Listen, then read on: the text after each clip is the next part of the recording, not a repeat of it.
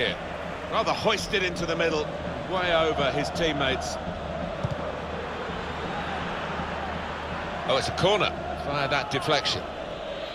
Hazard is the star turn for this team, and he's played like a star. Oh, he's looked really lively today, hasn't he? He's been getting the ball in good areas, turning, shooting with both feet, and he's got himself a goal. It's Hazard, and it's in! That is one of those special moments you don't often see. A glorious goal.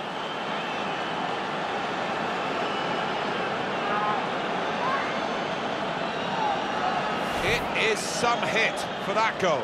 Well, I think if you ask the player afterwards, he'll say he has never struck a sweeter ball than that. It was a strike of real power, and he got his reward for it.